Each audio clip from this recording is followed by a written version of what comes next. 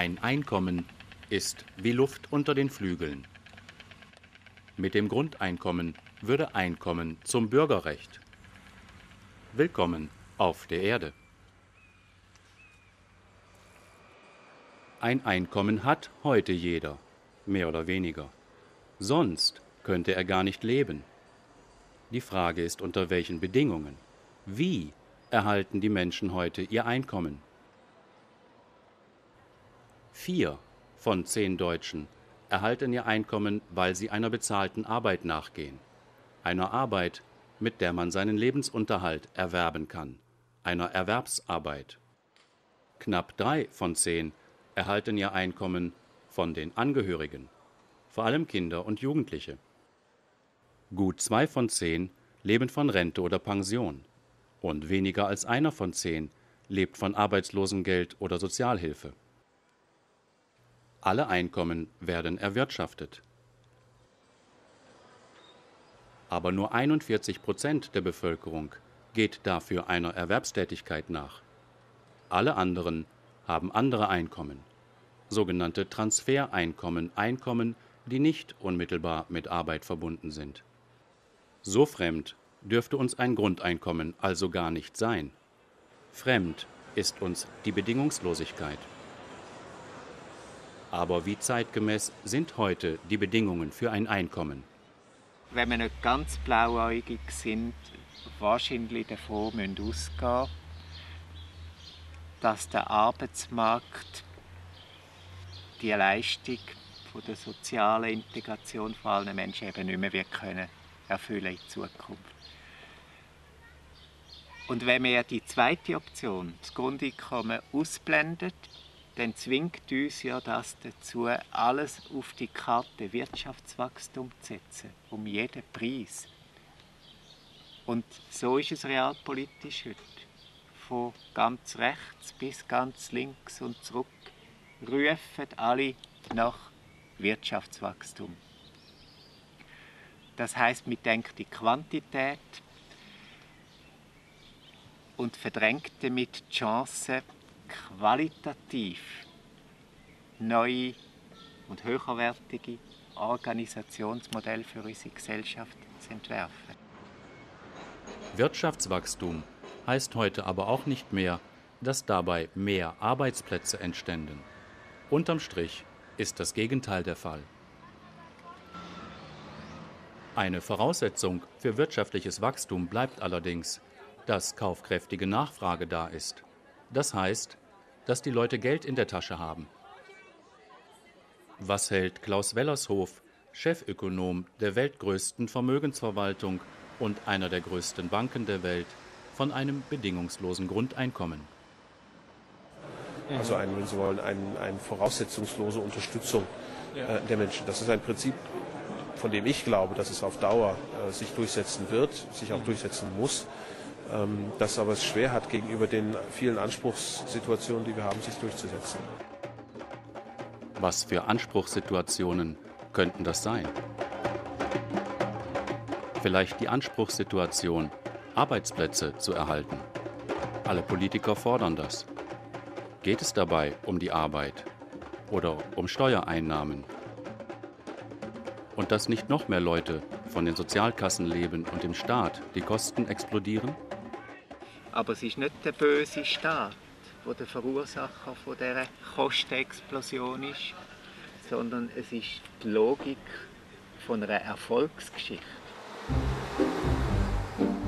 Die Logik der Erfolgsgeschichte ist die Rationalisierung. Die findet auch vor der eigenen Haustür statt.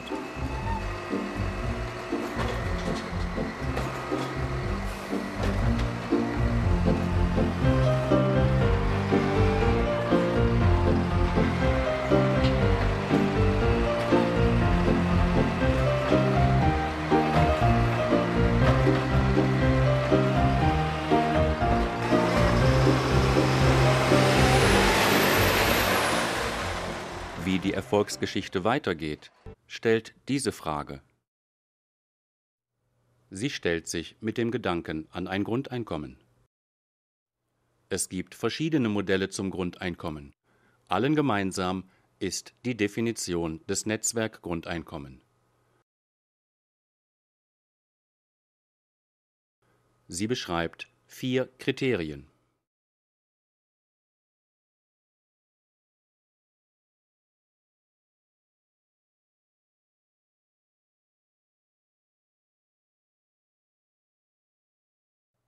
Jetzt aber nicht abheben. Das Grundeinkommen ist nicht für jeden mehr Geld. Es kommt nicht von oben und nicht obendrauf, sondern es wächst in das bestehende Einkommen. Das Erwerbseinkommen wird geringer. Die Höhe des Gesamteinkommens verändert sich nicht, aber es setzt sich anders zusammen. Das Grundeinkommen ist eine andere Art von Einkommen. Es ist kein Mindestlohn, es ist keine Bezahlung für etwas, es ist nicht an eine Arbeit gebunden, sondern bleibt bei der Person, bei allen Veränderungen. Im Unterschied zum Kommunismus, der den Einzelnen erstickt, und dem Marktliberalismus, der den Einzelnen alleine lassen will, fordert ja das Grundeinkommen eine Absicherung, um eine maximale Freiheit zu schaffen, damit der Einzelne sich entscheiden kann. Und das geht eben nur mit einer Einkommensgarantie. Die muss natürlich so hoch sein, dass sie wirklich auch auf Erwerbsarbeit verzichten können. Verzichten zu können ist eine Voraussetzung dafür, sich auf gleicher Augenhöhe begegnen zu können. Die meisten, die heute auf Sozialgelder angewiesen sind, wären das mit einem Grundeinkommen nicht mehr. Das Grundeinkommen ersetzt staatliche Transferleistungen bis zu seiner Höhe. Nur wo Sozialleistungen darüber hinaus notwendig sind, blieben sie mit dem Betrag darüber hinaus erhalten. Mehr Geld in der Tasche hätten mit einem Grundeinkommen nur die, die heute weniger haben. Das sind vor allem Kinder und Jugendliche, das heißt Familien, Empfänger einer zu geringen Rente, es sind prekär Beschäftigte und Selbstständige, die sich arm arbeiten. Das Grundeinkommen hebt Armut auf und stabilisiert den Mittelstand durch eine gesicherte Ausgangsbasis. Es nimmt Angst vorm Alter. Es ist nicht Geld, das die einen den anderen geben, über die sie dann auch zu Gericht sitzen. Es ist keine nachtragende Hilfe bei Not, sondern eine Perspektive und für alle. Das Grundeinkommen setzt nicht den besseren Menschen voraus. Es löst auch nicht die Probleme nicht mit Geld, aber es ermöglicht mehr Lösungen durch die Menschen.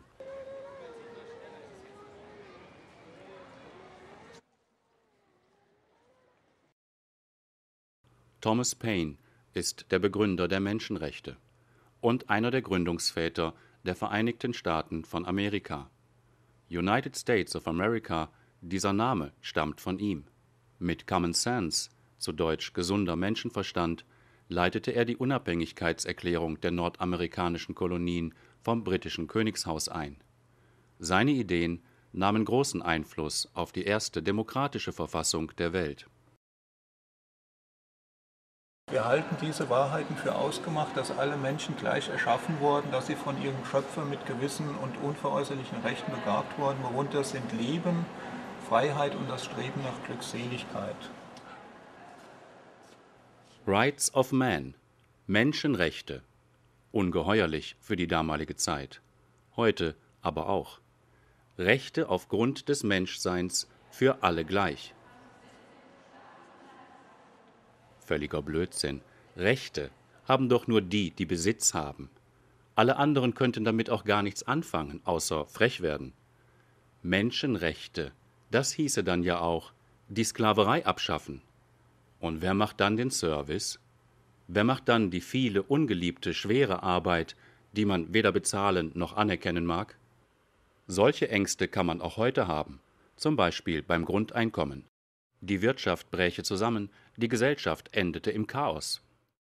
Viel schlimmer war es allerdings, als die Erde rund wurde. Lange hielt die Kirche an der Scheibe fest.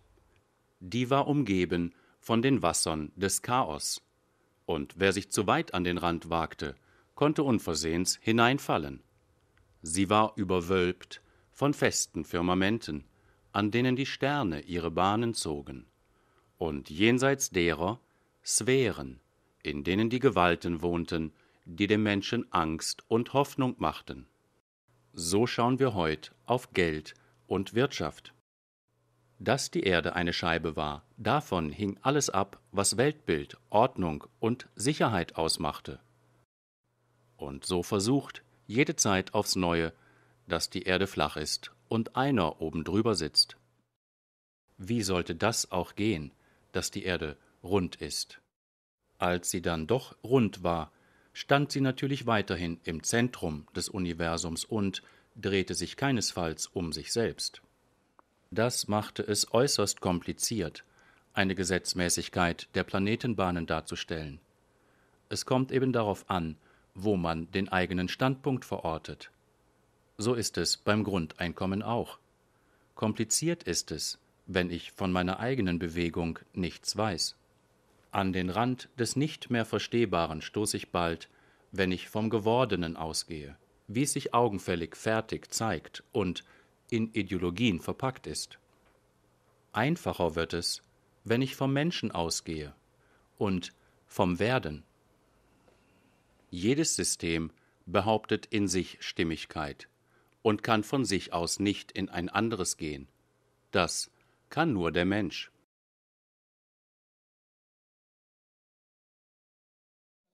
Das Grundeinkommen ist in Österreich, in der Schweiz und in Deutschland ein Thema und wird dort diskutiert. Ich glaube, es hat auch damit zu tun, dass die Zeit natürlich reif ist. Die Menschenwürde wird zurückgegeben. Und es ist nicht gebunden an gesellschaftliches Wohlverhalten. Das Grundeinkommen wirkt äh, vor allen Dingen einmal zur Deeskalation der sozialen Spannungen, die wir jetzt haben. Ja? Also viele sind jetzt drin, die eigentlich gar nicht arbeiten wollen. Da sagen wir, oh, nehmen wir uns die Arbeitsplätze weg. Und manche sind draußen, die arbeiten wollen. Also dass das überhaupt in die Entscheidung des Menschen kommt, dass er sagen kann, ich will oder ich will nicht. Da entsteht Bewegung. Aber was ich die spannendste Geschichte finde, ist, wenn ich mir das selber überlege, ich habe die Ausrede am Ende meines Lebens nicht mehr, ich habe das, was ich tun wollte, nicht getan, weil ich konnte, jawohl. Wer studiert denn hier das Studium nur deswegen, weil es die Eltern wollten? In welcher Gesellschaft wollen wir leben? Also wenn Sie die Fragestellung nicht haben, können Sie gleich Ihren Computer hochfahren lassen. Da gäbe es eine Blüte von Initiativen. Also ich bin skeptisch, oder? Ich bin sehr skeptisch. Und zwar, ich würde denken, dass wenn das zur Verfügung gestellt werden würde, dass einfach die Motivation, etwas zu leisten und zu arbeiten, die sinkt. Die sinkt auf Null. Erwerbsarbeit macht krank, ganz einfach, weil die Zeiträume, um diese Erwerbsarbeit zu leisten, und das denke ich, das ließe sich empirisch ganz einfach belegen, laufend zusammengekürzt wird. Im Grunde genommen die, die, äh, führt, führt ein Grundeinkommen zu einer freieren Gesellschaft. Das ist das Entscheidende. Es führt weg von der Lohnabhängigkeit und es führt hin zu einer Selbstständigkeit. Dann, dann, dann stellt sich natürlich später dann auch die Frage, wie finanziert man das? Weil irgendwo muss es ja reinkommen. Also ich kann das als Volkswirt äh, rechnen, dass das geht. Okay, ja. Die große Zukunft ist, dass jeder lernen muss, damit umzugehen. Ja? Das ist das große ja. Ding dabei. Und da stehen wir am Anfang. Nicht bei den Finanzierbarkeiten. Die Finanzierbarkeit ist gewährleistet. Freiheit ist die schwierige Nummer.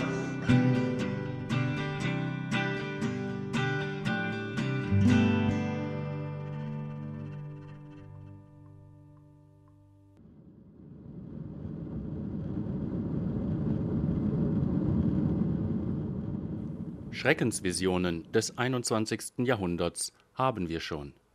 Die Zeitungen sind voll davon und wir auch.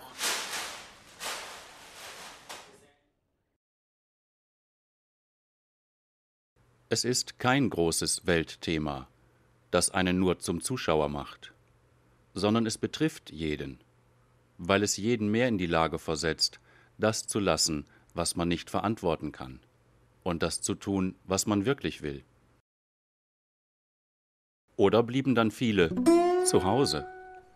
Arbeitete dann keiner mehr? Die Räder stehen still wie im Dauerstreik. Und die Abteilungsleiter in dauernder Freizeit? Verantwortung außer Sichtweite.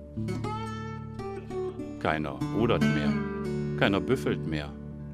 Die Universitäten ganz leer. Verscheucht ein Grundeinkommen die Anreize zu einer höheren Qualifikation. Wer nicht muss, macht auch kein Humankapital aus sich. Dabei fehlen den Unternehmen heute schon die Fachkräfte. Wie soll das weitergehen mit der Wirtschaft? Ich bin empört am meisten über die Tatsache, dass kein Verständnis mehr dafür gibt, wofür eigentlich Ökonomie oder Wirtschaft da sein sollte. Sie ist ein Teilbereich des menschlichen Zusammenlebens, um Leben zu ermöglichen, um uns gute Dinge zu tun, über die wir verfügen können. Und dieses Denken ist vollkommen weg. Wirtschaft ist ein selbstständiger Kreislauf, der ganz andere Ziele verfolgt, der mit dem menschlichen Leben kaum noch was zu tun hat, der sogar in der Lage ist, menschliches Leben zu zerstören. Trotz allem, ich bin fest davon überzeugt, äh, wir brauchen ein System, wo, wo halt Leistung bezahlt wird, gute Arbeit wird entlöhnt und, und ein System, wo man einfach generell Gießkannenprinzipmäßig alle gleich besoldet oder mit einem Grundsalär ausstattet, würde dazu führen, dass am Schluss dann einfach äh, die, die, die ganze Leistungsgesellschaft in sich zusammenbrechen würde. Bezahlte Leistungen in Deutschland im Jahr 2001 56 Milliarden Stunden in Erwerbsarbeit. Nicht bezahlte Leistungen 96 Milliarden Arbeitsstunden in privater Haus- und Elternarbeit und in bürgerschaftlichem Engagement. Ein Grundeinkommen stände keineswegs der Bezahlung von Leistung im Wege. Die Frage ist vielleicht eher, wie dann Führung durchzuführen ist wenn Menschen durch Geld nicht mehr so bei der Stange zu halten sind, in den Unternehmen, in der Gesellschaft, wenn Menschen durch ein Einkommen weniger zu bestimmen sind. Und wie bestimmt man sich dann selbst? Liegen dann doch alle am Pool? Und der Müll bliebe auf den Straßen liegen? Rentner müssten die Parks pflegen. Untergräbt ein Grundeinkommen die Leistungsgesellschaft und das Gefühl, selbstständig zu sein, die Freude am eigenen Erfolg. Ist das nicht auch langweilig, wenn jeder schon ein Einkommen hat? Nur was für alte Hippies und Waldorfschüler, die meinen, der Mensch sei von Natur aus gut.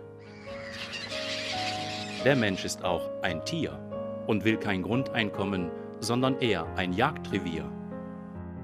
Schauen wir lieber mal und warten ab, was uns neue Märkte bringen. Draußen vor der Tür. So ist das für viele Menschen.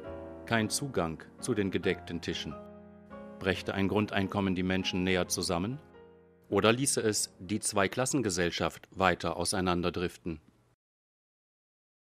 Die lukrativen Jobs, teurere Bildung und ungestört das Kapital verwalten für die einen, während die anderen sich im Grundeinkommen einrichten, ihre Zeit mit Hoffnung und Hobbys verbringen, sich für zwei Euro die Stunde noch etwas hinzuverdienen und bei den wichtigen Dingen nicht weiter im Weg stehen. Missbrauchen kann man ein Grundeinkommen auch, indem man es in einer Höhe festlegt, die gerade so nicht zum Leben reicht und alle Sozialleistungen dafür streicht. Dann gilt Arbeitszwang für alle, ohne persönliche Aufforderung, zu Löhnen wie in China und ohne dass im Grundeinkommen die Möglichkeit enthalten wäre, auf ein Arbeitsangebot zu verzichten. Wenn man die Zahlungen dann noch durch verschiedenste Quellen, Sondermodelle, Gegenrechnungen und Auflagen verkompliziert, hat man ungefähr die Situation von heute, nur verschärft.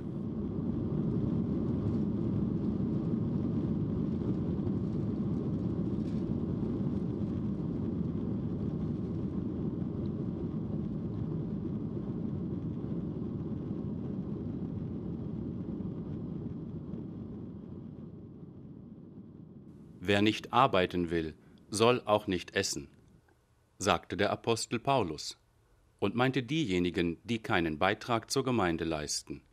Wenn ihnen ihre Erlösung schon so nahe sei, so Paulus, dass sie das Arbeiten sein ließen, dann sollten sie doch auch gleich das Essen sein lassen. Der Mann hatte noch Humor, andere nicht so. Hier werden Zöglinge in einem Korb unter die Decke gezogen über dem Essenstisch und bekommen nichts ab, weil sie zu wenig gearbeitet haben. Essensentzug. Alle Regeln werden schrecklich, wenn ihnen der Geist abhanden kommt.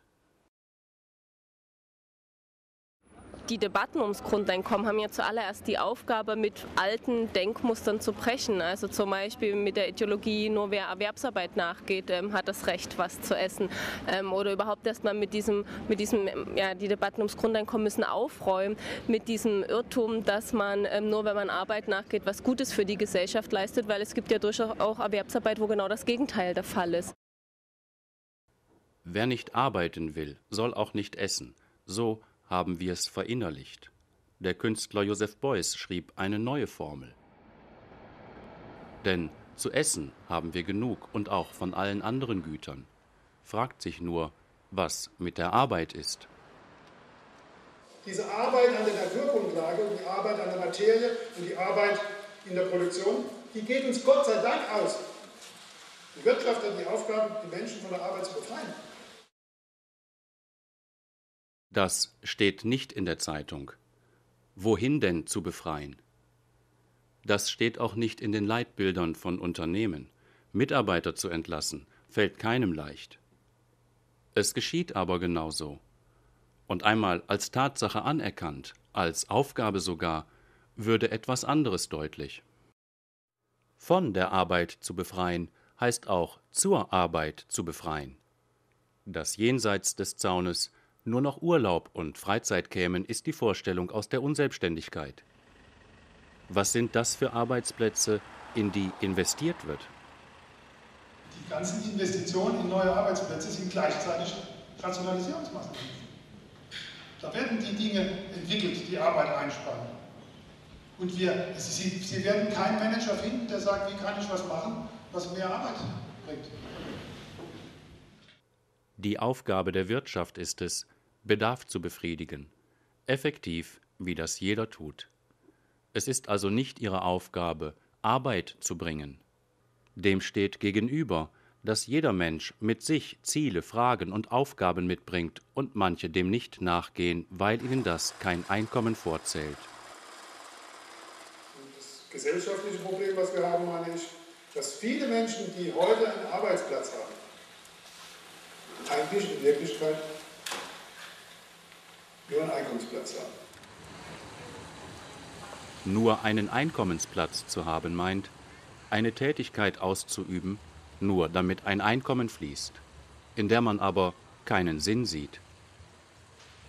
Gesellschaftlich ist das ein Problem, weil viel an Frustration und Dauerkrankheiten daher rührt. In Deutschland fühlen sich 12 Prozent der Beschäftigten ganz und gar am richtigen Platz. Das ist etwas mehr als jeder Zehnte. Gut die Hälfte, 54 Prozent, sind mit ihrer Arbeit so einigermaßen unzufrieden, sehen aber auch gute Aspekte. Und 34 Prozent der Beschäftigten sind mit ihrer Arbeit ausgesprochen unzufrieden. Das ist etwa jeder Dritte. Der sogenannte Arbeitskampf ist ein Einkommenskampf. Und der Arbeitskampf wehrt sich gegen die Wegnahme der Arbeit. Denn meine Arbeit, das bin ich. Ein Recht auf zugewiesene Arbeit kann es aber nicht geben. Es gibt kein Recht auf Pflicht. Und es gibt kein Recht darauf, gekauft zu werden. Ein Recht auf Arbeit kann nur das Recht sein zu der Tätigkeit, die jemand von sich aus will und tut. Ein solches Recht auf Arbeit braucht ein Recht auf Einkommen. Es gibt doch nicht, dass man eine Arbeit hat und es gibt irgendwie, es gibt nur ein Arbeitsamt, aber es gibt kein Einkommensamt. Der junge Mann meint, dass er zwar viel Arbeit hat, aber dafür kein Einkommen. Was würde ein Recht auf Einkommen gesellschaftlich bewirken können? Der Schweizer Soziologe Uli Mäder nennt einige Eckpunkte die kritische Kontrastierung der einseitig bornierten Ausrichtung an der Erwerbsarbeit, äh, die Fokussierung auf die Sinnfrage, was ist überhaupt wichtig im Leben, äh, das würde Menschen rücken stärken, das würde mehr Sicherheit verleihen, es würde einen Kreativitätsschub geben, es würde einen Zufriedenheitsschub geben, die Menschen müssten weniger kontraproduktiv mit den Ellbogen vorangehen und sie äh, würden weniger äh, die Erfahrung machen müssen, immer wieder äh, darauf erpicht zu sein, auf Kosten äh, von anderen profitieren zu können. Was eigentlich unser jetziges System mit dieser äh, äh, extremen Konkurrenz eigentlich auch eben dazu verleitet, Mechanismen der Solidarität zu unterlaufen. Soweit der Ordinarius für Soziologie.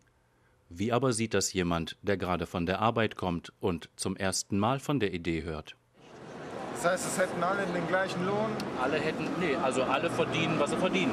Aber ein Grundeinkommen? Aber alle haben als Basis so ein Grundeinkommen. Aber nur, wenn sie arbeiten? Nee, egal was. Egal was? Jeder bekommt es. Aber es stellt sich sicherlich die Problematik der Arbeitsmotivation. Wenn ich sowieso einen garantierten Grundlohn habe, wieso gehe ich dann arbeiten? Wie wäre das für Sie selber? Ähm, ja, ich würde gerne arbeiten Also ich meine, zu Hause sitzen bringt es nicht. Ich liebe meine Arbeit, ich tue es gerne, aber es gibt sicherlich solche, die werden dann nicht mehr zur Arbeit zu bewegen. Wenn es ein Grundeinkommen gäbe, würden Sie dann noch arbeiten gehen? Spontan antworten etwa 60 Prozent Ja, unverändert. Etwa 30 Prozent antworten Ja, aber nicht mehr Vollzeit oder auch etwas anderes als heute. Und etwa 10 Prozent sagen ganz offen, erstmal ausschlafen und dann weitersehen. Verreisen, sich um andere kümmern, nochmal studieren. Wenn es ein Grundeinkommen gäbe, denken Sie, die anderen würden dann noch arbeiten? Etwa 80 Prozent antworten Nein. Wahrscheinlich wären die meisten dann nicht mehr zur Arbeit zu bewegen. Was ist das für eine Arbeit, zu der man bewegt werden muss? Die eigene wohl nicht, zu der bewegt man sich selbst. Wer ist der Beweger zur Arbeit? Das ist eine Tretmühle. Und das ist Kinderarbeit alles einmal ganz normal gewesen. Kaufen, tun wir das immer noch. Man weiß es ja auch gar nicht so genau. Das Zeug kommt aus Fernost. Dort wird jetzt viel der sogenannten Drecksarbeit gemacht. Und hierzulande auch gerne mal von Leuten von woanders. Da fehlen dann schon mal Papiere, Verträge und jede Sicherheit. Lohnfortzahlung im Krankheitsfall? Die sogenannte Drecksarbeit ist nicht unbedingt um ihrer selbst willen dreckig, sondern aufgrund der geringen Wertschätzung der geringen Bezahlung und der Arbeitsbedingungen. Es ist oft Arbeit, die den Dreck anderer wegmacht. Wer macht da die Arbeit dreckig? Mit einem Grundeinkommen kann man auch Nein sagen. Aber wer macht dann die Drecksarbeit? Da gibt es drei Möglichkeiten.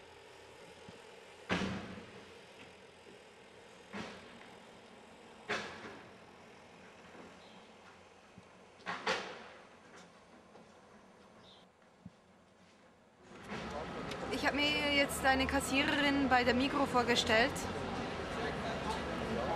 Ihr macht die Arbeit vielleicht nicht so Spaß. Und ob sie überhaupt noch arbeiten gehen würde mit einem Grundeinkommen. Ja, dann fragen wir mal die Frau an der Kasse. Ja, also ich würde, für mich persönlich würde ich noch arbeiten, weil ich könnte es mir nicht vorstellen, zu Hause rumzusitzen und gar nichts zu tun. Auch wenn ich diese Grundding hätte von 1000 Euro. Ja, das ist so eine Zahl, 1000 Euro. Es kann auch mehr sein oder weniger. Erstens wird es mir gar nicht reichen, muss ich ehrlich gestehen. Daher der Name Grundeinkommen.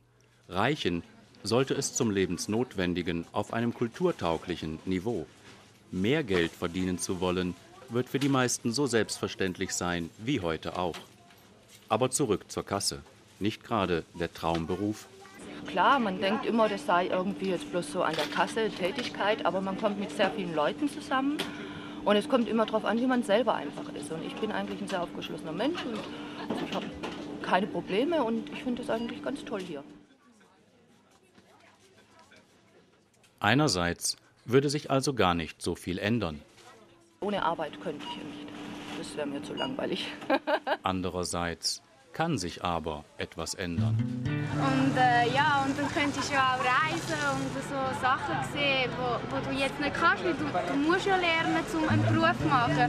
Und der Stress vom Beruf ist ja so schwer für alle, einen Beruf zu finden, oder? Du bist da und hast fast keinen Platz mehr und äh, wenn es das hätte, wäre es ja auch nicht so der Stress. Und wenn man äh, jetzt also äh, nicht die Schüler darauf konditionieren müsste, dass sie dann in irgendeiner Weise im Erwerbsleben auf Teufel komm raus den Platz finden, der für sie passt und von dem alle wissen, dass es den längst nicht mehr gibt für alle. Also diese verlogene Situation, in der wir uns eigentlich befinden. Ja, das Thema ist, denke ich, erst recht interessant für junge Leute, da ja gerade heute in den Schulen festzustellen ist, wie ganz viele Jugendliche schon äh, vor Zukunftsängsten leiden oder in den Schulen sich schon notorisch auf einen Beruf vorbereiten oder das bessere Übel wählen, das geringere Übel, aus Angst, später mit gar nichts dazustehen. Und im Grundeinkommen sehe ich die Möglichkeit und die Chance, gerade das ergreifen zu können, was man wirklich gerne machen möchte und was man auch gut machen kann. Aber ich sehe damit verbunden eine, eine Krise, eine Sinnkrise. Es gibt einen Zeit und Raum, um sich Dinge zu überlegen. Und was würde ein Grundeinkommen für die Arbeit bedeuten? Ähm, man würde die Arbeit auf mehrere Leute aufteilen und dann wird sie auch wieder ähm, befriedigend. Und was war da mit der Sinnkrise? Ja, ich glaube, wir leben zum großen Teil in einer großen Illusion. Wir leben auf Kosten der Natur, auf Kosten der zukünftigen Generation, auf Kosten unserer Partner das nicht äh, zugeben wollen, dass andere für uns schaffen. Diese Abhängigkeit, diese Brüderlichkeit, solange das sie nicht klar aufgenommen wird, äh, da bin ich im Schulden meinen Mitmenschen gegenüber. So viel zur Brüderlichkeit und die Gleichheit in der Demokratie für mich hat das Grundeinkommen so eine, auch so eine Funktion von Demokratiepauschale. Menschen werden weniger erpressbar, wenn sie materiell grundabgesichert sind und das ermöglicht eine Entfaltung eines demokratischen, ähm, ja, einer demokratischen Gesellschaft, ähm, von der alle profitieren, arm wie reich. Und die Kunst? Even when I'm not working, when I'm not physically creating a piece, I'm still working.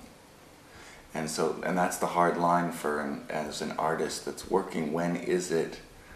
Do, do you get paid for those times when you're just living life and grabbing ideas to make new work? You know, as opposed to the actual physical time when I'm in a studio and I've been commissioned, you know, to make a piece. And so, how do you then um, financially uh, finance yourself to be able to be inspired? And you know, living is the art form in a way. und als werdende Mutter? Ja, das wäre super, weil dann, äh, dann könnte ich mich in dem Maße, wie ich das möchte, könnte ich mich sicher um das Kind kümmern, ohne irgendwie schlechtes Gewissen zu haben. Und ich, ich könnte mir aber ähm, trotzdem das, was ich arbeiten möchte, das könnte ich mir dann einfach so aufbauen, wie ich das möchte und nicht wie das jetzt vielleicht die Arbeitsvermittlung möchte. Ja, ich, ich könnte einfach, ich denke, es wäre sehr gut, gerade in dieser Situation. Und wenn das Kind dann mal erwachsen ist, kann es mit dem Grundeinkommen auch schneller ausziehen. Kann man mit dem Grundeinkommen überhaupt erwachsen werden, wenn man weiß, ein Einkommen ist ohnehin sicher? Wie ist das mit dem Grundeinkommen und dem Erwachsenwerden? Ich hätte nicht so viel Zeit gebraucht, um für meine Rebellion. Ich hätte die Integration vielleicht vielleicht angenommen oder einen Platz in der Gesellschaft, weil, weil der Preis vielleicht nicht so teuer, existenziell so teuer wäre. Ich, ich hätte vielleicht weniger Angst gehabt, auf das Wichtigste verzichten zu müssen. Es, ist, es hängt eben eigentlich sehr viel, äh, es ist sehr viel in Verbindung damit und könnte auch sehr viel auslösen. Müssen wir immer mehr äh, uns auch verantwortlich fühlen für alles andere, was auf der Welt passiert. Wir können uns ja nicht sozusagen isolieren in, einer, in der Welt heute, die so, so geschrumpft ist. Entscheidend ist, dass die Menschen erstmal die gedankliche Trennung von, von einem Einkommen beziehen und zu arbeiten, dass die die inner, innerlich vollziehen, dass sie, dass sie innerlich realisieren, ich habe ein Einkommen, um arbeiten zu können. Nicht, ich arbeite, um Einkommen zu erhalten.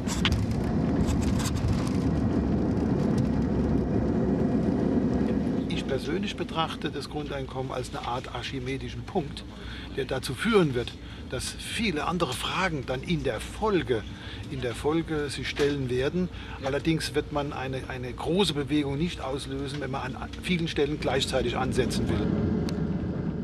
Weiterkommen werden wir nur, wenn wir auf die, auf die Kraft des Individuums setzen. Die Kraft des Individuums, da wird es drauf ankommen.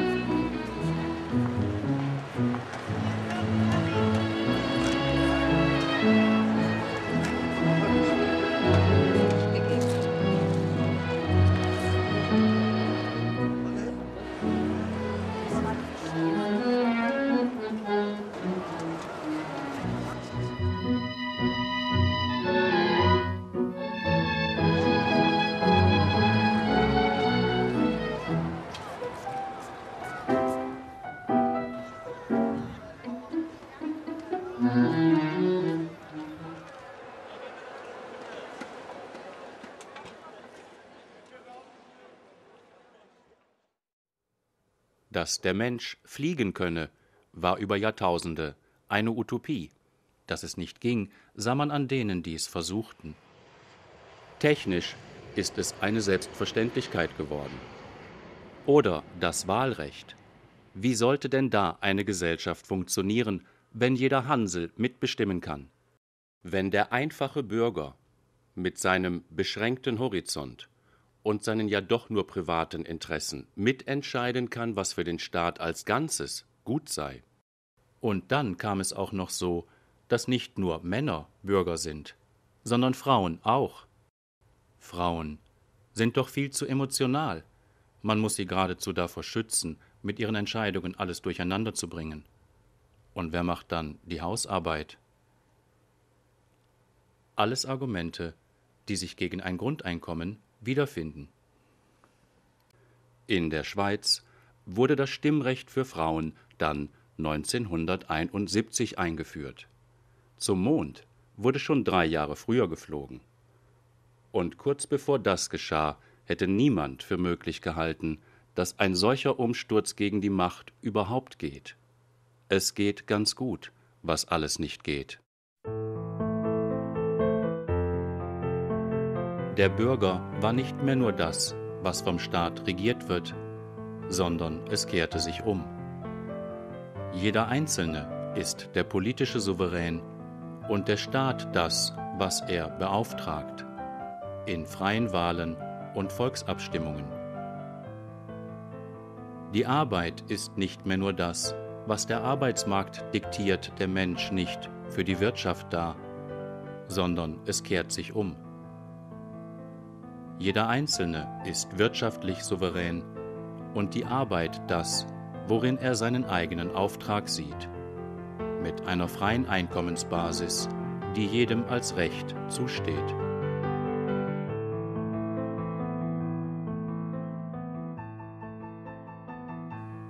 Thomas Morus war britischer Lordkanzler unter Heinrich VIII. Er verweigerte seine Hand der Herrschaft des Unrechts und wurde dafür geköpft. 1935 wurde er dafür heilig gesprochen und im Jahre 2000 erklärte Papst Johannes Paul II. ihn zum Schutzpatron aller Politiker und der Regierenden. Thomas Morus schrieb Utopia, den Reisebericht von einer fernen Insel besserer Verhältnisse. Andere Autoren taten es ihm nach. Seit diesem Buch sprechen wir von Utopien. Utopos heißt der Nichtort.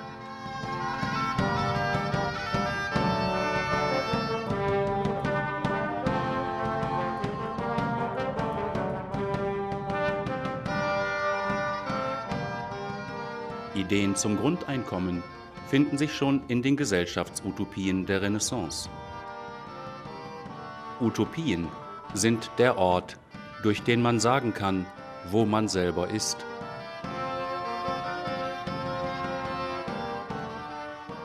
Jede spätere Zeit macht ernst mit dem, was zuvor nur gedacht wurde. Aufklärung, das heißt, ich sage laut, was ich sehe, was ich selber denke und für wahr halte, und mache mein Wissen auch noch allen zugänglich. Jede Zeit hat ihre neue Aufklärung. Worauf kommt es dabei an? Ganz wichtig dann wird sein eigentlich die eigenständige Fähigkeit zu denken, selber zu analysieren, weil natürlich in einer Umbruchsphase hergebrachte Denkmuster, die sozusagen vom Vater oder von der Mutter oder vom Lehrer oder vom Pfarrer oder vom Doktor übernommen wurde, dass diese dann plötzlich sich als falsch oder aber als hm, beschränkt erweisen und dass man dann auf die Kürze ein neues Denkmodell entdecken muss, für sich auch ähm, eigentlich äh, festigen muss. Und das bedeutet dann, dass man eigentlich an das selber glauben lernt, was man selber denkt. Wenn man aufs Matterhorn will, muss man daran denken, früh aufzustehen. Denn um die Mittagszeit muss man oben sein, damit man beim Abstieg nicht in Dunkelheit und Kälte gerät. Jeder Schweizer weiß das. Beim Ölverbrauch sind wir alle auf den Gipfel gestürmt, ohne dass sich jemand überlegt hätte, wie wir da wieder runterkommen. Der Peak of Oil, die größtmögliche Fördermenge, ist bald erreicht, und von da an geht es steil bergab.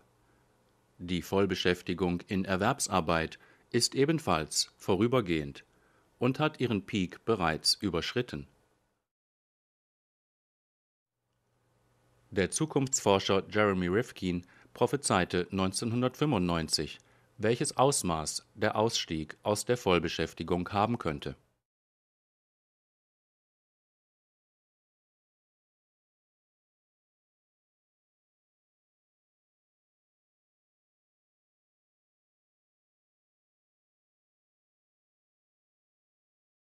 Rifkins Prognosen sind umstritten, aber nicht aus der Luft gegriffen 1982 wurden in den USA 75 Millionen Tonnen Stahl hergestellt. 300.000 Menschen waren damit beschäftigt. 20 Jahre weiter wurden 100 Millionen Tonnen Stahl hergestellt, aber nur noch ein Viertel der Belegschaft musste dafür arbeiten. Neue Arbeitsplätze sind dabei auch entstanden, ein paar hundert vielleicht, im Consulting und in hochspezialisierter Technologie. So ist es nicht nur in der klassischen Produktion, sondern auch in vielen Bereichen der Dienstleistung. Die Netbank ist ein extremes Beispiel, macht aber eine Entwicklung deutlich. Sie benötigt nur noch ein Zehntel der Mitarbeiter bei gleicher Höhe an Kundeneinlagen gegenüber einer konventionellen Bank. Diese Entwicklung ist nicht beschränkt auf ehemalige Industriestaaten, sondern generell und weltweit sinkt die Zahl der Beschäftigten im Verhältnis zur Produktivität.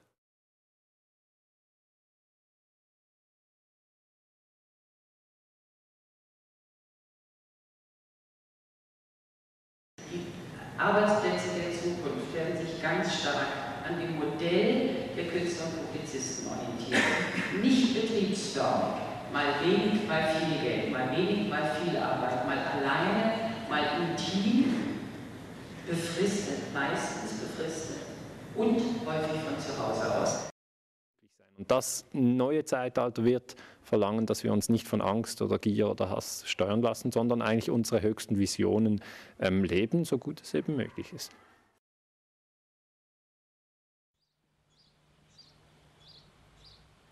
Vor 100 Jahren erzeugte einer, der in der Landwirtschaft arbeitete, Nahrung für drei weitere Menschen. Heute erzeugt ein Landwirt genug für 120 Menschen. Woran das liegt, sieht man hier. Und so ist es und wird es fast überall.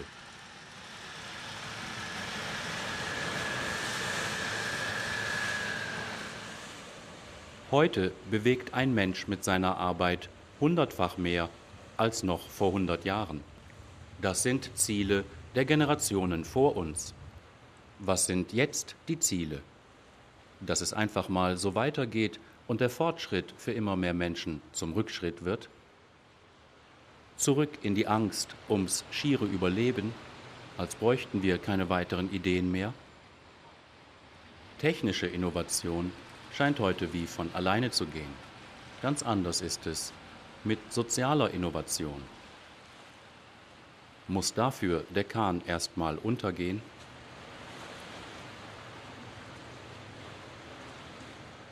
Wenn der Kopf stillsteht, geht der Körper zurück. Soziale Veränderungen brauchen eine andere Kraft als die, mit der Maschinen schieben. Im Fahrwasser des Fortschritts dümpelt das Soziale eher so vor sich hin. Wie ist das mit dem Sozialstaat? Wer will was Lebendiges erkennen und beschreiben, sucht erst den Geist heraus zu treiben. Dann hat er die Teile in seiner Hand.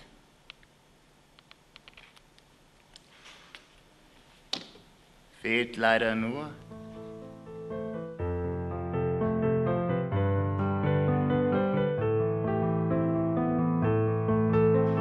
das geistige Band. Kann euch eben nicht ganz verstehen. Mir wird von alledem so dumm. Als ginge mir ein Mühlenrad im Kopf herum. Das Missverständnis beginnt, wenn jemand zur Arbeit geht und meint, das tue er für sich, weil er ein Einkommen erhält. Ein Einkommen erhält aber jeder, weil jeder es braucht, weil jeder auf die Leistungen anderer angewiesen ist. Wenn das Einkommen unmittelbar mit Arbeit verbunden wäre, dann müssten die Maschinen die meisten Einkommen erhalten. Es ist aber so, dass die Menschen, deren Arbeit sie übernehmen, weiterhin ein Einkommen brauchen. Das Grundeinkommen schafft nicht etwa die Erwerbsarbeit ab, aber es nimmt ihr die Totalität.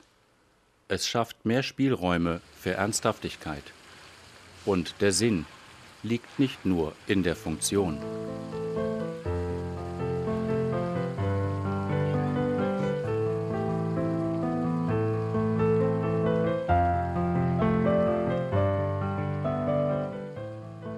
Die Waschmaschine kostete in der Schweiz vor bald 50 Jahren 3550 Franken.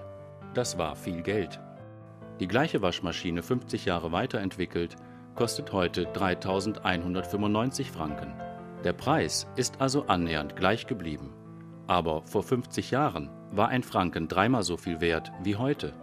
Das heißt, die Waschmaschine kostet nur noch ein Drittel von dem, was sie vor 50 Jahren kostete. Der Haarschnitt für den Herrn kostete vor 50 Jahren etwa dreieinhalb Franken und heute etwa 40 Franken. Das heißt, wo Methoden optimiert werden konnten, Technologie zum Einsatz kommt und längst nicht mehr so viele Menschen gebraucht werden wie früher, sind die Kosten gesunken. Wo das nicht der Fall ist, beim Friseur zum Beispiel, sind sie gestiegen. Teuer ist menschliche Arbeit, weil Menschen ein Einkommen brauchen und weil auf ihre Arbeit auch die Steuer erhoben wird. Dabei verdient ein Friseur auf die Kaufkraft gesehen heute nicht mehr als früher aber an dem Verhältnis der Preise lässt sich sehen, wo und in welchem Maße rationalisiert werden konnte und was Rationalisierung für uns bedeutet. Wäre es bei der Waschmaschine weitergegangen wie bei den Friseuren, dann würde sie heute 40.000 Franken kosten.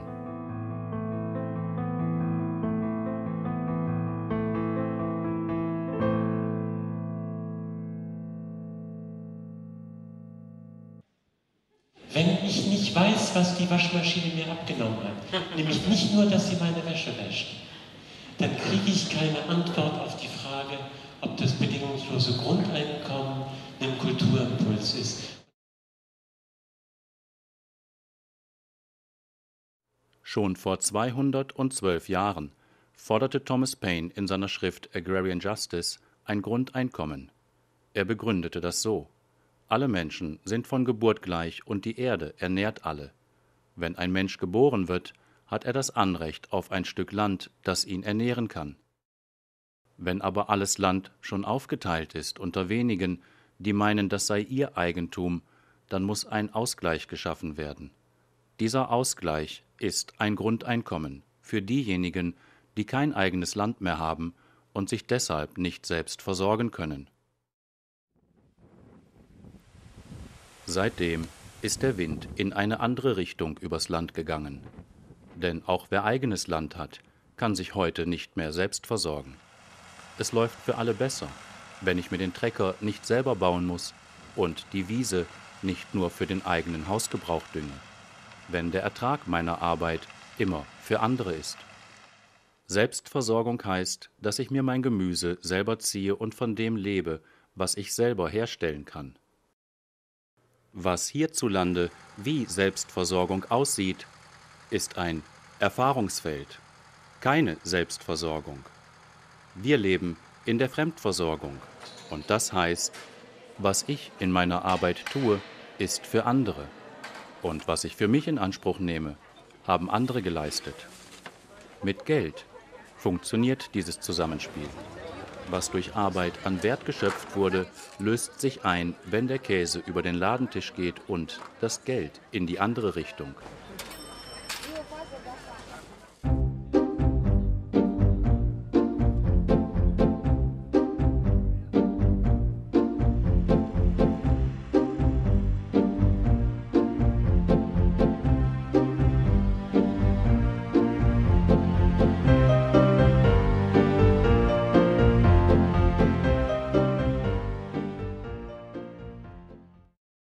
Weil ich bezahlt werde für das, was ich tue, meine ich, es sei für mich, was ich tue.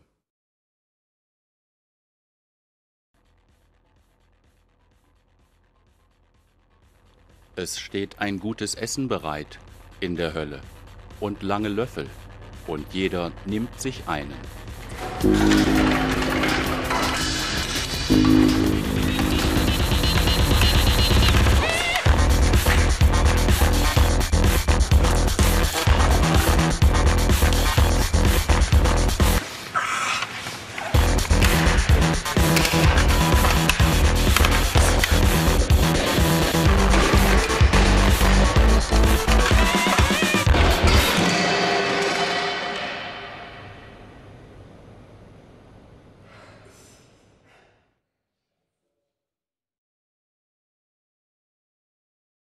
Im Himmel ist alles genau gleich. Es steht ein gutes Essen bereit und Löffel, und jeder nimmt sich einen.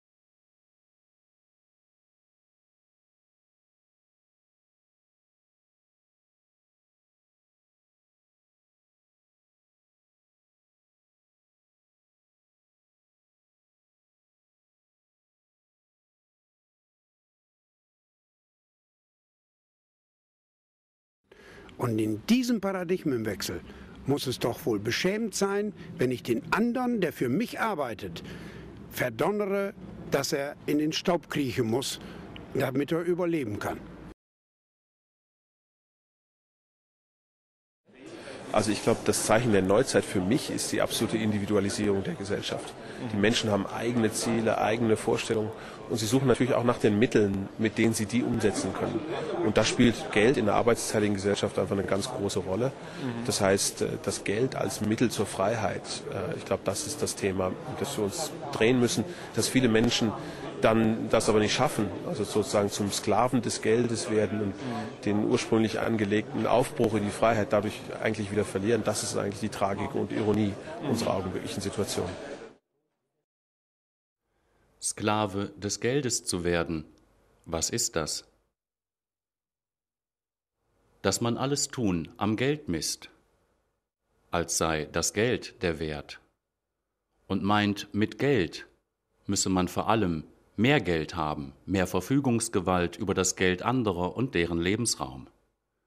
Die Sklaven des Geldes versklaven andere mit der Macht, die sie dem Geld geben. Mit dem bedingungslosen Grundeinkommen würde ein Teil des Geldes aus demokratischem Beschluss für jeden und alle Mittel zur Freiheit. Das Geld ist die Magd, der Mensch, die Königin. Schafft das auch bessere Bedingungen für die globalen Aufgaben? Ich glaube auf jeden Fall. Dass es würde ja erstmal also Freiheit schaffen, das zu tun in der Welt, was nötig ist. Denn wir haben jetzt eine Situation, die ja total absurd ist. Äh, Investmentberater sagen, das große Problem für sie ist, dass es so viel Geld ist, dass es zu viel Geld gibt. Und äh, gleichzeitig gibt es Produktionsüberkapazitäten fast überall. Und dann gibt es eine riesige Arbeitslosigkeit, die immer steigt. Und dann gibt es unglaublich viele ungelöste Aufgaben. Also es gibt sehr vieles, was wir machen müssen und können. Und zwar sehr, sehr dringend, wenn wir nicht in die globale Katastrophe steuern.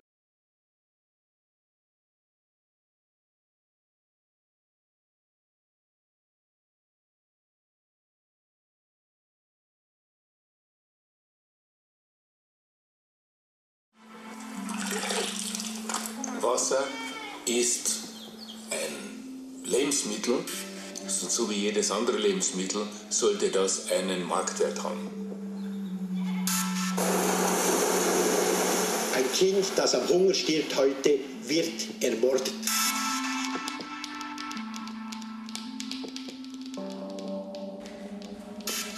Das Geld fließt nicht dahin, wo es gebraucht wird.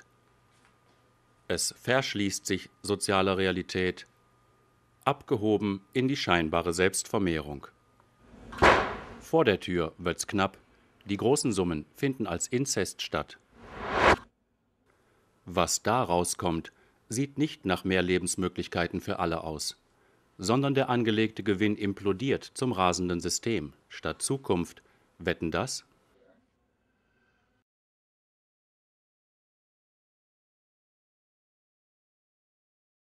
dass Einkommen und Arbeit voneinander getrennt werden muss, das, äh, glaube ich, äh, das zeigt uns die Realität immer deutlicher. Und ich denke, dass äh, das Grundeinkommen wirklich eine Lösung auch für die Arbeitslosigkeit äh, sein kann. Denn tatsächlich gibt es unglaublich viel zu tun, aber es gibt kein Geld dafür. Ne? Und ich denke, dass äh, das Grundeinkommen eine Form wäre, das Geld dahin zu leiten, wo es gebraucht wird und Menschen freizustellen, das zu tun, was in ihren Impulsen liegt. Arbeit und Einkommen trennen. Das macht das Grundeinkommen in seiner Höhe. Aber wie wäre das in einer Gesellschaft zu organisieren? Der Kreis stellt die Wertschöpfung in einer Volkswirtschaft dar. Umso produktiver sie ist, umso größer. Als Wertschöpfung einer Volkswirtschaft bezeichnet man das, was im Laufe eines Jahres in einem Land an Dienstleistungen und Produkten hergestellt, weiterverarbeitet und dann auch verkauft wird. Diese Wertschöpfung teilt sich in einen Staatsanteil und einen Privatanteil. Etwa die Hälfte der gesamten Wertschöpfung geht über Steuern und Abgaben an den Staat.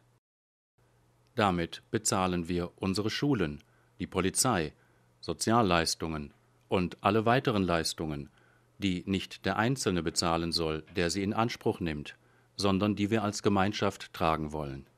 Leistungen, die wir demokratisch beauftragen.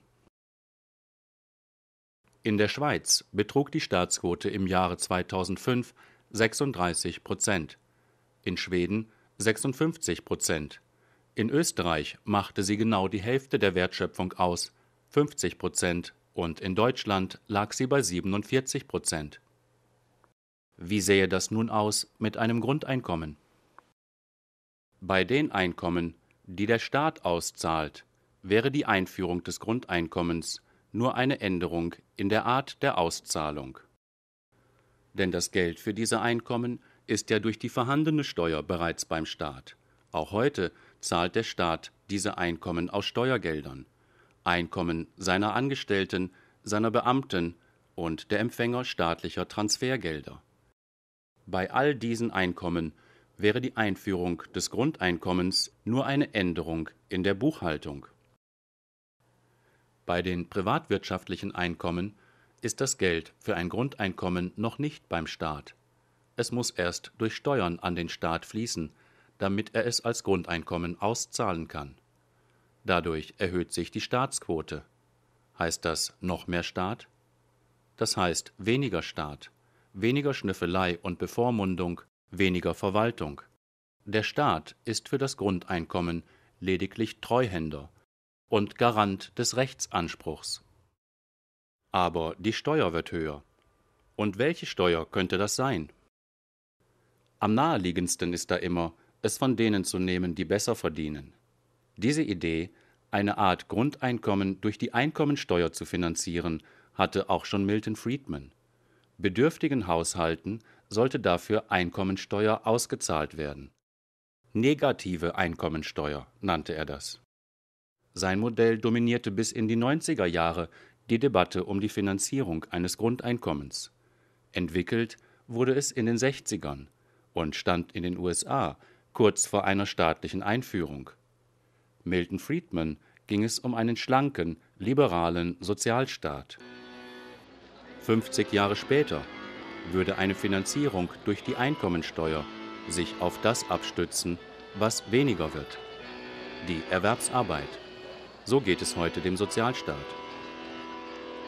Mehr Erwerbslose heißt weniger Steuereinnahmen aus der Einkommensteuer. Und höhere Einkommensteuern belasten die Erwerbsarbeit noch mehr. Die Katze beißt sich in den Schwanz. Das Widersinnige an der Einkommensteuer ist, dass sie die Leistung besteuert und damit die eigene Basis auffrisst. Welche Steuern also könnten es heute sein? Schauen wir uns einmal in diesem Unternehmen konkret an, wie das heute mit der Steuer überhaupt ist. Ein Kaffeehaus in Basel. Über 1000 Gäste am Tag, 40 Mitarbeiterinnen und Mitarbeiter, dreieinhalb Millionen Franken Umsatz im Jahr. Und wie ist das mit der Steuer? Steuern sind in einem Unternehmen immer Kosten.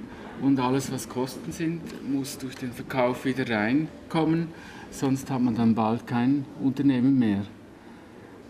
Äh, es gibt eigentlich drei Arten, grundsätzlich drei Arten von Steuern. Das ist die Mehrwertsteuer, die wird direkt vom Konsumenten bezahlt. Und dann gibt es die Lohnnebenkosten und die Einkommensteuern. Die Mehrwertsteuer steht auf jedem Kassenzettel und ist jedem sichtbar. Für das Unternehmen stellt sie keine Kosten dar und erscheint nicht in der Betriebsrechnung. Und wie ist das mit den Lohnnebenkosten?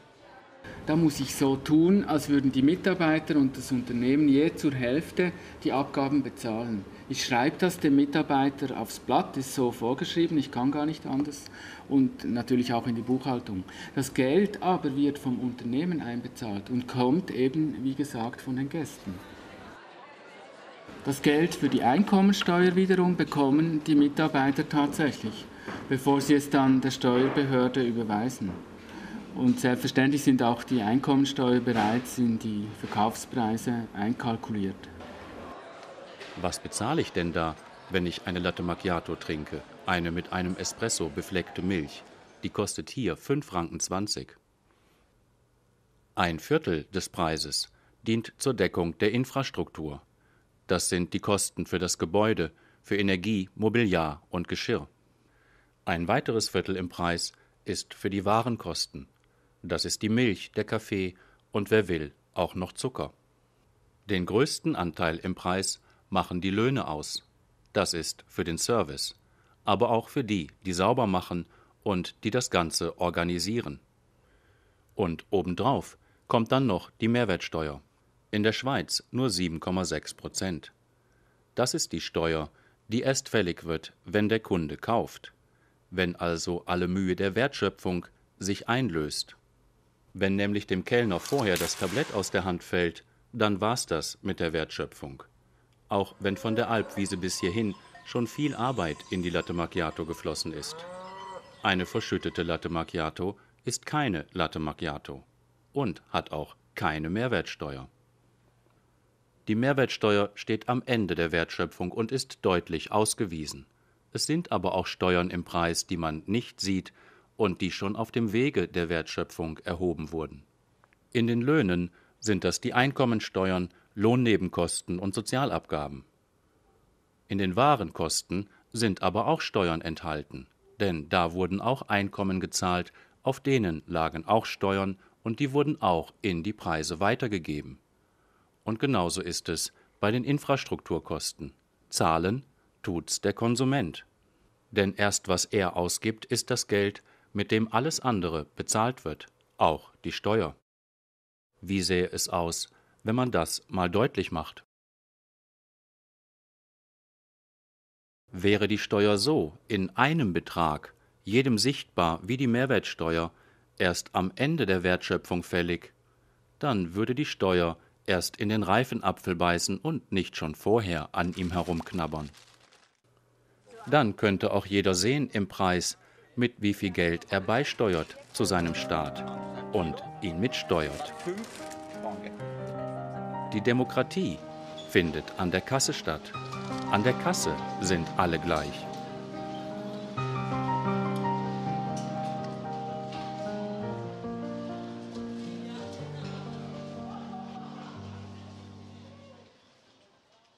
Schwarzarbeit gäbe es nicht mehr, wenn die Steuer nur noch Mehrwertsteuer wäre.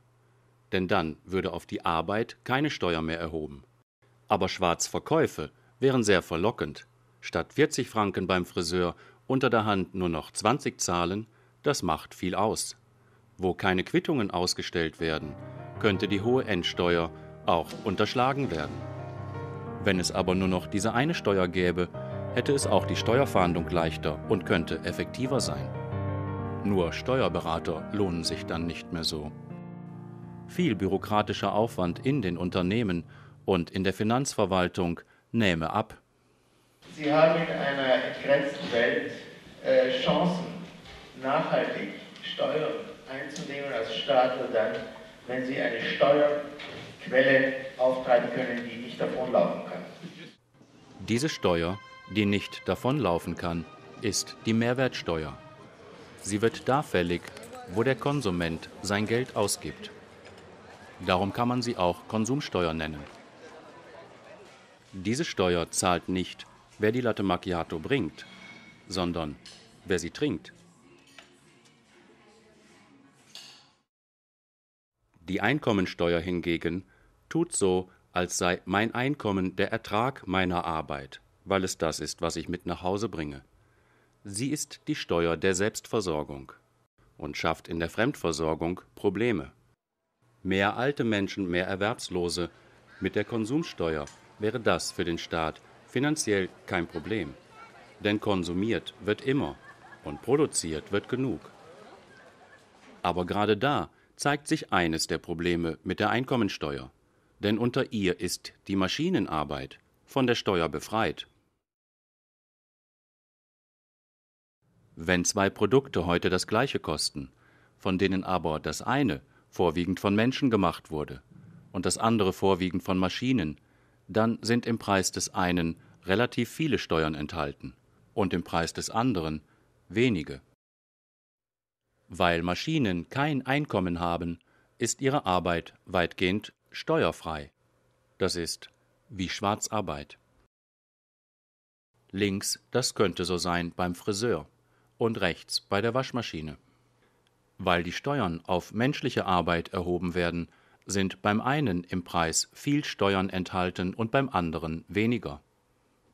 Nimmt man jetzt bei beiden nur den effektiven Preis der Wertschöpfung ohne die vorher eingerechnete Steuer und setzt auf beide den gleichen Prozentsatz Konsumsteuer auf, bis sie beide zusammen das Steuervolumen erreichen, das vorher in den roten Flächen abgebildet war, dann kostet das eine weniger als heute und das andere mehr, weil Maschinenarbeit nicht mehr steuerlich subventioniert wird.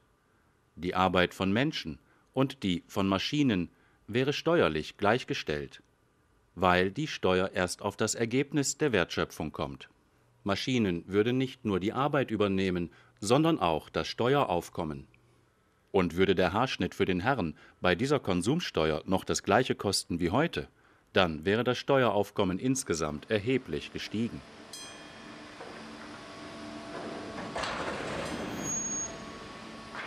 Wenn die Steuern wie heute zu einem großen Teil schon in den Produktpreisen enthalten sind, dann gehen sie mit dem Produkt auch über die Grenze. Dann zahlen die Leute im Ausland das Bildungssystem, die Infrastruktur, den Sozialstandard der Schweiz mit, wenn sie ein Produkt aus der Schweiz kaufen. Das ist die eine Ungerechtigkeit. Und die andere? Was hier so günstig aus dem Ausland einzukaufen ist, ist neben anderen Gründen auch deshalb so billig, weil dort weniger staatliche Leistungen für die Menschen stattfinden und darum im Preis weniger mit zu bezahlen ist. Die Konsumsteuer käme auf alle Importe, alles, was zum Verkaufen ins Land kommt. Und was im Land hergestellt wird, hätte die gleiche Steuer. Sie kommt auf alles, was im Land verkauft wird, denn sie kommt ja auch den Menschen zugute, die im Land leben. Die Konsumsteuer ist aber kein Exportgut. Geht das Produkt über die Grenze, geht die Steuer nicht mit. Jedes Land bleibt souverän, seinen eigenen Staatshaushalt zu beschließen und ihn auch selbst zu bezahlen. Die Konsumsteuer ist die gerechte Steuer der Globalisierung, die faire Steuer für den fairen Handel. Und hier wurde sie erfunden, die Steuer auf den Verkauf. Die Brühlschen Terrassen am Elbufer in Dresden. Graf Heinrich von Brühl hatte die Idee einer Abgabe auf alle Verkäufe im Land. Gut 200 Jahre später wurde in der Bundesrepublik Deutschland eine ähnliche Steuer eingeführt, aber ganz anders gerechnet. Die Mehrwertsteuer. Sie gibt der Arbeitsteilung mehr Raum und ist wettbewerbsneutral. In Deutschland macht sie mit ihren 19 Prozent mittlerweile den größten einheitlichen Steuerposten aus. In Schweden liegt sie bei 25 Prozent. Für den Beitritt in die EU ist sie Voraussetzung.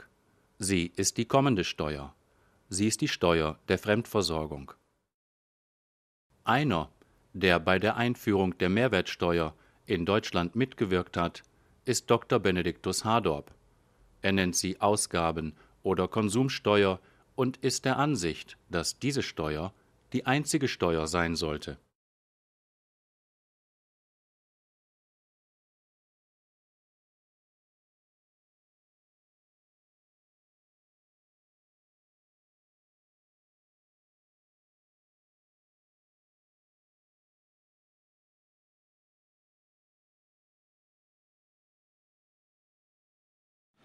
Nur Mehrwertsteuer, das wäre am aller einfachsten. Ne? Dann brauchen wir die ganzen Steuererklärungen und so weiter nicht. Dann ist es alles befreit davon.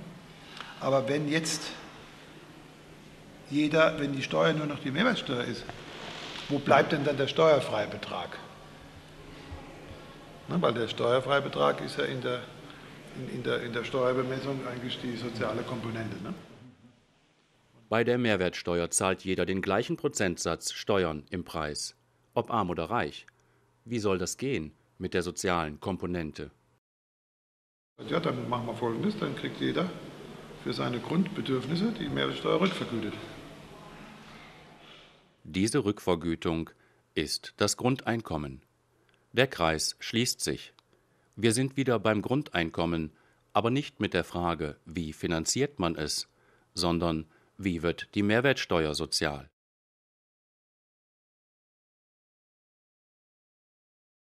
Von der Mehrwertsteuer aus ergibt sich das Grundeinkommen als logischer Schritt zu ihrer sozialen Komponente, als ausgezahlter Steuerfreibetrag.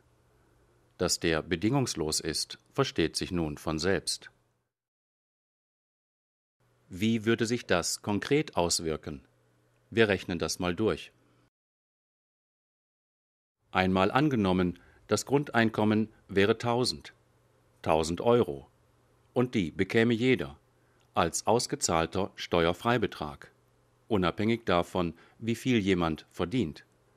Wenn ich nichts dazu verdiene, bleibt es bei den 1000 Euro als Gesamteinkommen.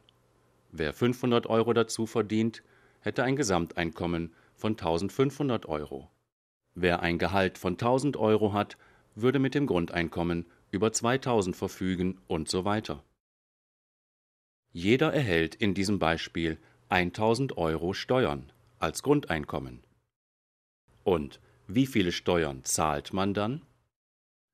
Wenn die Steuern auf Arbeit entfallen und die Steuer als Mehrwertsteuer auf das Ergebnis der Wertschöpfung kommt, dann beträgt sie etwa 100 Prozent. In den Verbraucherpreisen wäre also etwa die Hälfte ausgewiesene Steuer. Wer etwas für 10 Euro kauft, bezahlt damit 5 Euro Steuern. Wer 1000 Euro ausgibt, hat dabei 500 Euro Steuern bezahlt. 1000 Euro aber hat er an Steuern erhalten. Real hat er minus 500 Euro Steuern bezahlt. Oder anders gesagt, real hat er 500 Euro Steuern erhalten. Wer 1500 Euro ausgibt, zahlt dabei wiederum die Hälfte in den Preisen 750 Euro Steuern.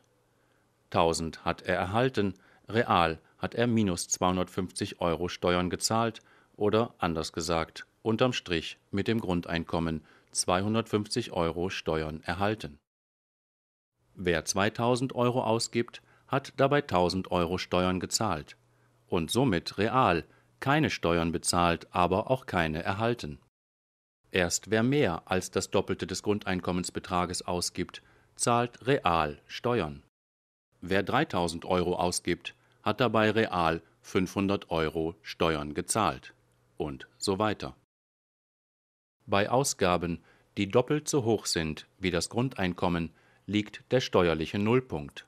Von hier aus findet eine Progression statt. Wer 3000 Euro ausgibt, zahlt dabei einen Anteil von 17 Prozent des Betrages an Steuern. Wer 5000 Euro ausgibt, zahlt bereits einen steuerlichen Anteil von 30 Prozent. Bei noch höheren Ausgaben geht der Steueranteil bis an die 50 Prozent. Und genauso findet auch eine Progression zur anderen Seite statt. Die soziale Progression in der Mehrwertsteuer durch das Grundeinkommen wäre einfach und vor allem wirksam. Klassisch gewöhnlich es ein, Links, äh, ein Linksargument gegen äh, Konsumsteuer, nämlich dass es äh, regressiv ist, dass die Ärmere eine größere, eine größere Proportion ihres Einkommens bezahlen, wenn es eine Konsumsteuer ist und keine äh, persönliche Steuer.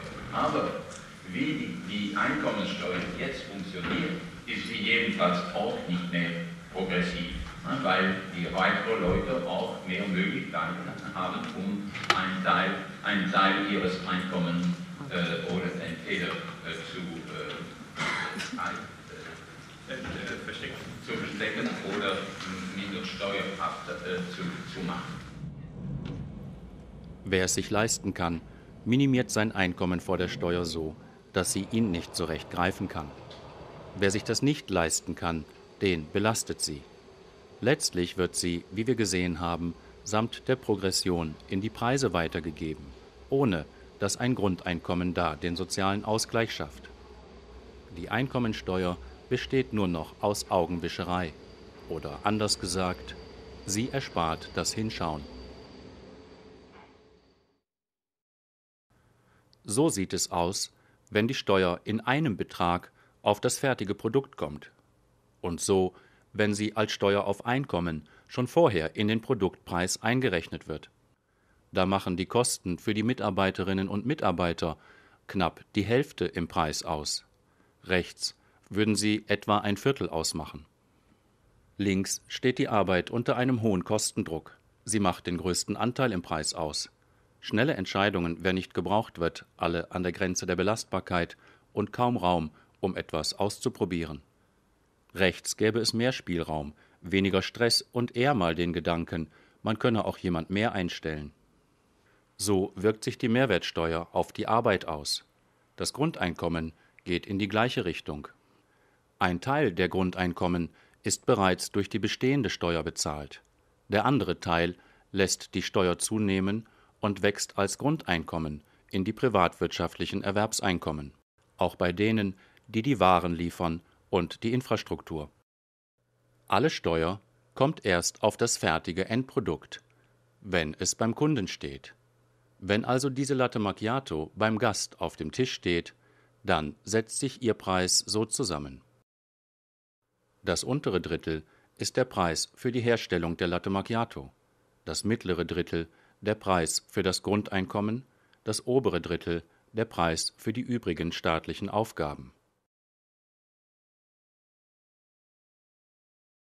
Und übrigens, alle Preise sind Einkommen.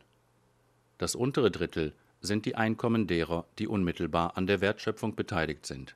Das obere Drittel sind die Einkommen derer, die die Rahmenbedingungen dafür herstellen und die staatlichen Aufgaben erfüllen. Das mittlere Drittel die Grundeinkommen für alle. Im Vergleich zu heute würden die Kosten der Arbeit in diesem Kaffeehaus nicht mehr knapp die Hälfte im Preis ausmachen, sondern etwa ein Sechstel. Die Mitarbeiterinnen und Mitarbeiter hätten dabei das gleiche Einkommen. Heute minus Steuern, dann plus Grundeinkommen.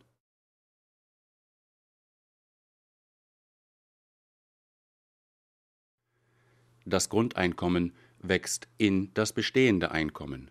Die Höhe des Gesamteinkommens verändert sich nicht. So ist das Prinzip. In der Praxis ist das Grundeinkommen eine neue Verhandlungsbasis. Zum Beispiel, wenn es nur noch so wenig ist, was ich bei der Arbeit verdiene. Vielleicht bleibe ich dann lieber zu Hause und kümmere mich um die Kinder, die ja auch ein Grundeinkommen haben. Oder es lockt mich einfach nur die Hängematte, nicht im Büro, zu Hause. Wie auch immer. Wer innerlich kündigt, kann das mit einem Grundeinkommen auch gleich äußerlich tun. Und sich etwas Eigenes aufbauen, alleine oder mit anderen. Mehr Chancen für bestechende Ideen als für die Bestechung durch Einkommen. Denn ein Einkommen hat jeder und bringt jeder schon zur Arbeit mit. Da kann man auch mal etwas Neues anfangen und man kann die anderen fragen, ob sie mitmachen, denn die haben auch ein Grundeinkommen. Vielleicht möchte ich aber auch einfach nur meine bisherige Arbeit weitermachen. Das Grundeinkommen schafft mehr gleiche Augenhöhe, mehr Gewicht für meine eigenen Vorstellungen, wie die Arbeit sein soll, wirkliche Zusammenarbeit. Und vielleicht muss es dann auch ein bisschen mehr sein, was der Arbeitgeber drauflegt. Es würde sich einiges ändern in der Unternehmenskultur. Wie hoch dann die Erwerbseinkommen sind, das ist eine neue Verhandlungssache. Die Verhandlungssache hat viele Gesichter. Wenn in einer Familie nur einer der Partner ein Einkommen hat, der andere keines und die Kinder Kindergeld, dann hat von dem Einkommen des einen auch der andere ein Einkommen und die Kinder. Das Grundeinkommen löst in seiner Höhe das Einkommen aus dem Gruppenzusammenhang von Firma und Familie und richtet es aus dem demokratischen Ganzen auf die einzelne Person. Das Grundeinkommen ist emanzipatorisch. Mehr gleiche Augenhöhe auch in der Familie und bessere Chancen am Arbeitsmarkt. Willi und Hans sind Kollegen Gleiche Firma, gleiche Arbeit, gleiches Einkommen. Wir sind in der Schweiz. 10.000 Franken, davon kann man gut leben. Kommt aber auch drauf an, wie viele davon leben. Hans hat eine Familie, eine Frau und zwei Kinder. Einmal angenommen, das Grundeinkommen betrüge in der Schweiz 2500 Franken und angenommen Kinder erhielten die Hälfte. Dann hätte die Familie von Hans sein Grundeinkommen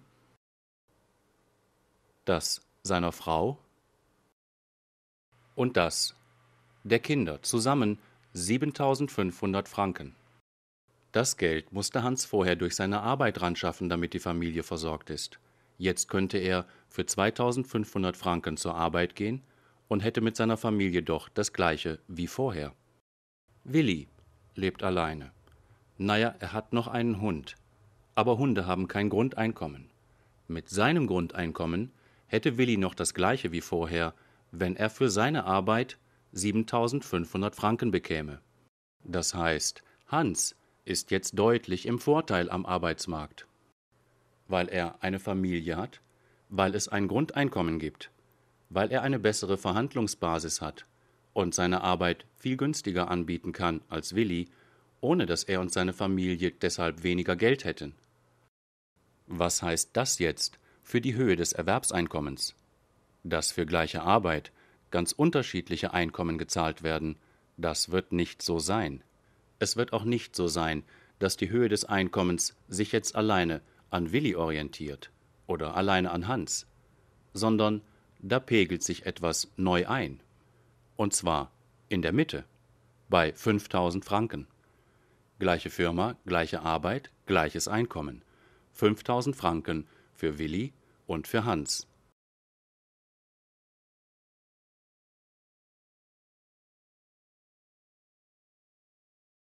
Neben der in Geld messbaren Wertschöpfung gibt es noch eine zweite Wertschöpfung, die sich nicht in Geld misst. Die Schaffung unentgeltlicher Werte, sozialer, kultureller, menschlicher Werte. Mit der Einführung eines Grundeinkommens würde die Schaffung unentgeltlicher Werte zunehmen. Zum Beispiel in der Gesundheit, Pflege aus Zuneigung, geistige Aktivität, Zeit für Menschen, Bildung, die stärkt, freie Forschung auf allen Lebensgebieten und ein freies Unternehmertum für das, was Neues in die Welt bringt. Tätigkeiten, die nicht zu rationalisieren sind und oft auch gar nicht zu bezahlen. Das Grundeinkommen gäbe auch die Muße, wahrzunehmen, worum es einem eigentlich geht. Würde die in Geld messbare Wertschöpfung dadurch abnehmen? Vielleicht weil manche dann nur noch zwei Tage die Woche zur Arbeit gehen und die restliche Zeit sich um ihre Oma kümmern, die ja auch ein Grundeinkommen hat? Das würde beim heutigen Grad der Automatisierung nicht zu einem Produktionsrückgang führen. Auf einer gesünderen, angstfreieren, selbstbewussteren und ideenreicheren Gesellschaftsgrundlage erhielte vieles einen neuen Wert, und vieles würde möglich, was heute in den Startlöchern bleibt. Die wirtschaftliche Dynamik nähme zu und damit auch die in Geld messbare Wertschöpfung.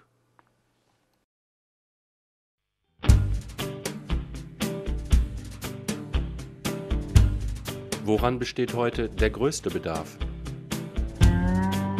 Vertrauen. Und worunter leiden Sie am meisten? Kälte. Ist das Grundeinkommen eine Fantasie oder Vernunft? Ich glaube, das ist rational und wirtschaftlich. Warum haben wir dann noch kein Grundeinkommen? Es kollidiert etwas, was eigentlich unser Leben wie so ein, inneren, ein innerer Kompass leitet, mit den Problemen und Möglichkeiten, vor denen wir stehen. Und wir kriegen das nicht zusammen. Und da wir offenbar noch nicht so weit sind, uns zu fragen, ob an den Überzeugungen etwas nicht stimmt und ob wir nicht sehen müssen, dass die Überzeugungen eigentlich nicht mehr zeitgemäß sind. Halten wir an dem fest, was wir haben. Das heißt, wir müssen umso stärker alles, Schule, Universität, an der Erwerbsorientierung ausrichten, weil wir sie noch nicht aufgeben können. Das ist eigentlich ein Symptom. Die Verschärfung in der Lage, in der wir uns befinden mit den Möglichkeiten, also die Verschärfung der alten Vorstellungen, ist ein Symptom dafür, dass sie uns schon abhanden gekommen sind. Es geht ja nicht mehr darum, dass dieses System, was wir jetzt haben, weiter funktioniert. Es geht darum, dass wir Alternativen aufbauen müssen, die sichtbar sind. Und ich glaube, da ist also die Idee des Grundeinkommens, auch wenn wir da anfangen können, das jetzt auch regional und lokal zu praktizieren durch Regionalwährungen und so weiter, ist ein, ein sehr gutes Beispiel für eine alternative Ordnung, die, wie ich wie gesagt, nicht etwas völlig Neues und Revolutionäres ist. A basic income is not a charity. Yeah. It's not just an assistance. It's, it's like you said, a civil right. It's the right of each person to participate in the wealth of the nation. Es ist das Werk von Senator Suplicy, das im brasilianischen Gesetz das bedingungslose Grundeinkommen bereits verankert ist. Als Ziel für die Zukunft. In was für Ländern kann man überhaupt über ein Grundeinkommen nachdenken? Ich glaube, auch in Ägypten kann man das. Man muss es nur ganz anders anschauen. Man kann es nicht vergleichen zu den Modellen, die man für Europa entwickeln kann. Aber ich, im Gegenteil, ich glaube, es ist sogar sehr, sehr wichtig, das für Ägypten auch anzupassen und anzuschauen. Wie würde Grundeinkommen wirken auf die Menschen in Ägypten?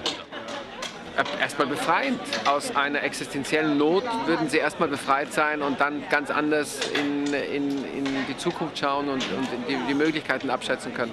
Jetzt geht es ums pure Überleben. Warum, Herr Suplicy, setzen Sie sich so für ein Grundeinkommen ein? Because I want to find the truth. So, uh, I want to find the way to eradicate absolute poverty, to build a just society, to improve income distribution, to have justice, and to struggle for the day when everybody may sit in the table of fraternity, like Martin Luther King said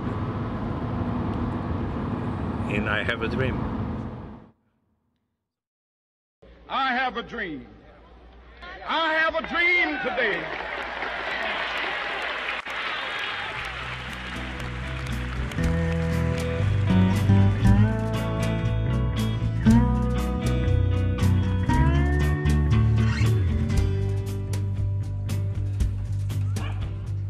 Anfangen könnte man mit dem Grundeinkommen bei den Kindern, zum Beispiel ab Jahrgang 2000.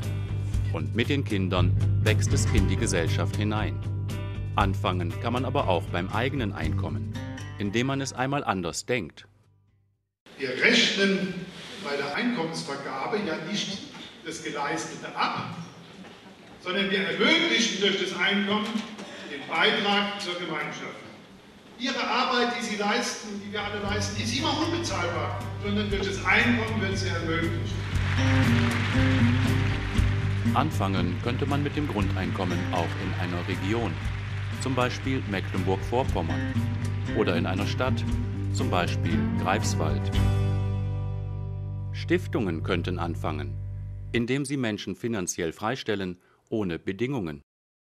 Das Stiftungswesen, auch der Staat mit seinen Zuschüssen, da wurden Instrumente geschaffen, um freies Geistesleben, um Soziales zu finanzieren.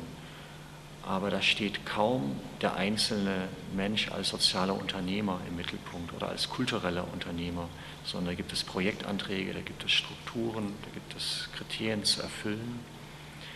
Also es wird nicht ernst gemacht mit dem Individuum. Genau das würde ein Grundeinkommen. Ernst machen mit dem Individuum. Dagegen wird behauptet, dass man gerade dem Individuum nicht trauen könne und die meisten auch keine Idee hätten, von sich selbst und von sich aus nichts tun wollen. Welche Erfahrungen hat die Leiterin des Existenzgründungszentrums für Arbeitslose in Frankfurt am Main? Die Ideen sind da, nur sie sind verschüttet und oft zugedeckt durch Existenzängste, durch ähm, falsche Vorstellungen, was kann man im Prinzip machen oder was darf gemacht werden, was ist gewollt. Bin ich fest davon überzeugt, dass das Grundeinkommen helfen würde, mehr Potenziale zu erschließen. Das heißt, es kommt ja wieder auch zurück für die Wirtschaft und Gesellschaft. Und das ist die Frage, wie können im Prinzip oder wie hoch wäre der Return of Investment, wenn es ein Grundeinkommen gäbe? Und der ist, denke ich, sehr hoch. Dann sollten wir mit der Investition mal beginnen. Aber die Investition geht an alle, auch an die, die ich gar nicht mag. Das finde ich sogar ganz wichtig. Jetzt habe ich mich das ganze Leben abgemüht, mich zu disziplinieren, mich zu trainieren, dass ich irgendwie sinnvoll äh, beschäftigt werden kann. Und jetzt kommen die daher, diese jungen Leute, die überhaupt sich nicht disziplinieren müssen und denen soll nun Geld gegeben werden, das ist ein Skandal. Dieses Argument steht eigentlich, glaube ich, dahinter, hinter der Ablehnung des Grundeinkommens. Aber weil das vielleicht nicht so schick ist, nicht so gut aussieht, wenn man dieses Argument trägt, sagt man, ja, aber wie soll man es finanzieren? Also wir haben geschafft dafür, um die Arbeit zu mechanisieren, den Menschen frei zu machen. Und jetzt stöhnen wir, wir haben keine Arbeitsplätze. Und niemand sagt uns, ja, verdammt nochmal, dafür haben wir doch die letzten 100 Jahre schwer gearbeitet, damit wir nicht mehr schwer arbeiten müssen. Sagt keine politische Partei. Und das ärgert mich zu Tode. Das entscheidende Argument ist dann einfach eine ganz persönliche Rache. Die anderen sollen es auch nicht besser haben, als ich es gehabt habe. Und das wird durch das Grundeinkommen torpediert. Also wenn ich mich von dieser Rache befreie, dann tue ich nicht nur etwas fürs Grundeinkommen, sondern eigentlich auch für die eigene Gesundheit und für meine Fähigkeit als Mitmensch.